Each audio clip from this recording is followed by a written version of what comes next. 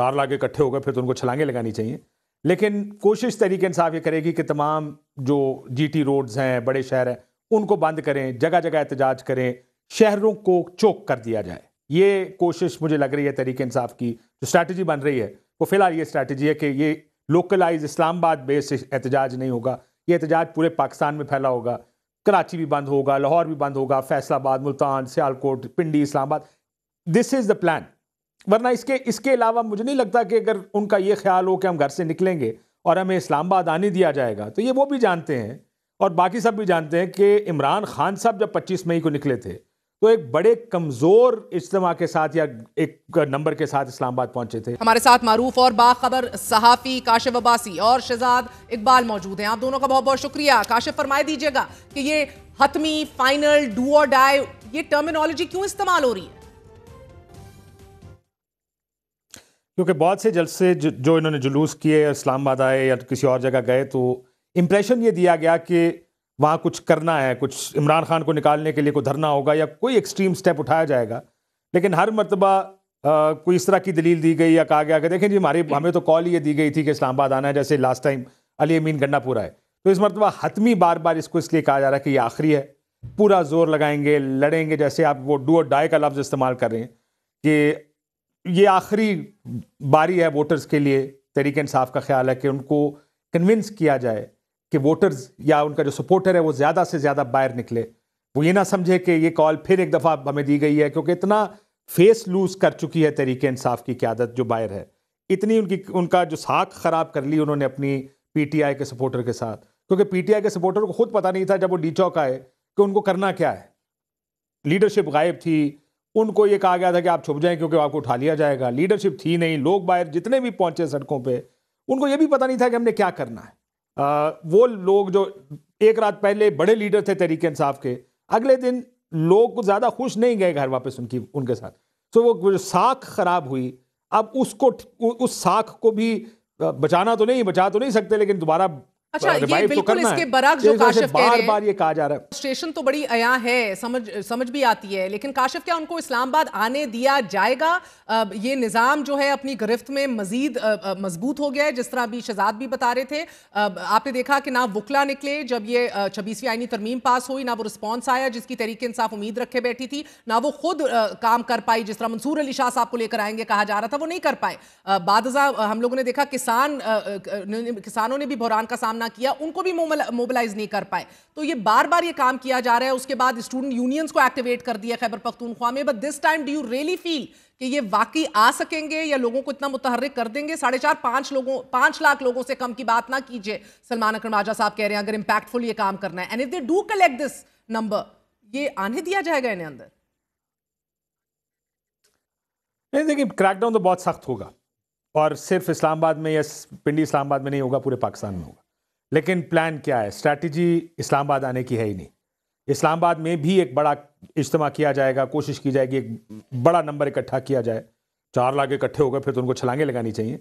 लेकिन कोशिश तरीके इंसाफ ये करेगी कि तमाम जो जीटी रोड्स हैं, बड़े शहर हैं, उनको बंद करें जगह जगह एहतजाज करें, शहरों को चोक कर दिया जाए। ये कोशिश मुझे लग रही है तरीके इंसाफ की, जो स्ट्रैटेजी बन रही है।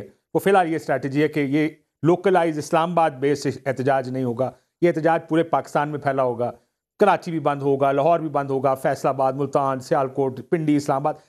This is the plan वरना इसके इसके अलावा मुझे नहीं लगता कि अगर उनका ये ख्याल हो कि हम घर से निकलेंगे और हमें इस्लामाबाद आने दिया जाएगा तो ये वो भी जानते हैं और बाकी सब भी जानते हैं कि इमरान खान साहब जब 25 मई को निकले थे तो एक बड़े कमज़ोर इज्तम के साथ या एक नंबर के साथ इस्लामाबाद पहुँचे थे।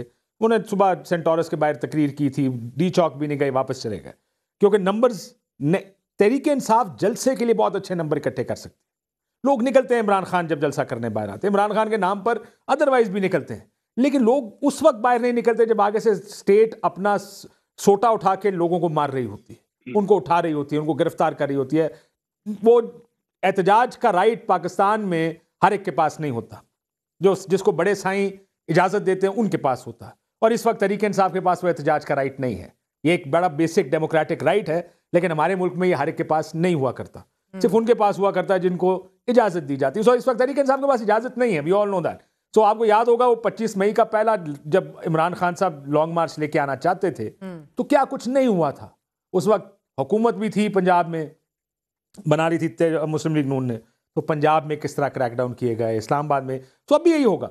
पहुँचने नहीं दिया जाएगा, लेकिन I don't see this as frustration अगर आप बार बार कह रहे हैं कि शायद इमरान खान फ्रस्ट्रेटेड है आई थिंक मसला ये है कि एक तरफ़ अब उनके पास बाकी सारे हाथ से निकल गई चीज़ें। प्रॉब्ली अब एक क्या फैक्टर हो सकता है जिसकी वजह से वो कह रहे हैं कि अब it is now or never मुझे लगता है कि अमेरिकन इलेक्शंस को लेकर उनको शायद थोड़ा सी ये उम्मीद जागी हो कि डोनाल्ड ट्रंप ने कुछ पाकिस्तानियों को ये ये कहा है कि he will play a part in getting Imran Khan maybe that that या मे बी उनको लगता हो कि ये इस वक्त अगर वो एहतजाज करेंगे तो कुछ कर पास कर सकते हैं। इसके बाद तो मेरा ख्याल है अभी अभी it's still too late Supreme Court हाथ से निकल गई शहजाद ने ठीक कहा। कुछ इस, इस वक्त तरीके इंसाफ के फेवर में कुछ नहीं है कि जो उनको सूट करे सवाए लोगों के। लोग हम्म। हमेशा से उनके साथ रहे हैं। उन्होंने आठ फरवरी को भी एक कू करके दिया तरीके इंसाफ को। बट उससे ज़्यादा लोगों ने कुछ किया नहीं अभी तक। सो आप उम्मीद किस वजह से तरीके इंसाफ की कि चार पाँच लो, लाख लोग सड़कों में निकल आएँगे लेकिन अगर कंटेनरिस्तान बन गया Pakistan even that in it अगर पूरा पाकिस्तान बंद करना पड़ता है पूरे शहरों में कंटेनर्स लगे हों तो दैट टू वो जो प्रेशर है आ, कि गवर्नमेंट नहीं शहर चला पा रही that also is a big pressure but I don't think उससे कुछ होता है। You too Kashif. जी जी मैं मुझे नहीं लगता कि इतना बड़ा क्राउड इकट्ठा कर पाएँगे लेकिन मुझे नहीं लगता कि वो इतना बड़ा क्राउड इकट्ठा करना चाहते हैं। मेरा ख्याल है धरना करना मकसद नहीं है लाखों लोग इकट्ठा करना मकसद नहीं है। अनरेस्ट क्रिएट करना शहर बंद करना मुख्तलिफ़ शहर शहरों में कंटेनर्स लगे हों जगह जगह आँसू गैस चल रही हो। हम्म। देखिए तरीके साहब को इस वक्त क्या चाहिए? उनको पाँच लाख लोग कोई नहीं इकट्ठे करने देगा। They also know this Shahzad pointed it out अभी मैं अभी अपने प्रोग्राम में भी रोफ हसन साहब से कहा था कि पंजाब की लीडरशिप तो है ही नहीं। हम सुनते ही हैं कि वो बाहर निकलेंगे लेकिन अभी तक कम से कम वो बाहर नहीं है। पीटीआई की तो पंजाब बेस्ड लीडरशिप लाहौर को कोई इशू नहीं होगा। मगर वो निकलते हुए नहीं दिखाई दिए ना। साथ ही चीफ मिनिस्टर अली अमीन गंडापुर तो नहीं है। पेशाब हाँ। लेकिन वहाँ पे हुकूमत है इसलिए आसान है। केपी केपी देखिए मुझे तो लगता है कि हुकूमत केपी के साथ भी कुछ करेगी। क्योंकि गवर्नर राज नुमा चीज़ अच्छा। कोई इस तरह का देखे कानून तो वैसे इस मुल्क में आइन और कानून बड़ी आसानी से इस्तेमाल होता है। लेकिन अगर उनको लगा कि ये एक सीरियस अटेम्प्ट है तो वो हुकूमत को यानी अली अमीन गंडापुर को हुकूमती सियासी यानी सरकारी मशीनरी इस्तेमाल करके पंजाब आने की इजाज़त तो नहीं देंगे। कुछ होगा चाहे उसको रोकें चाहे कुछ आइनी तरीका निकालें।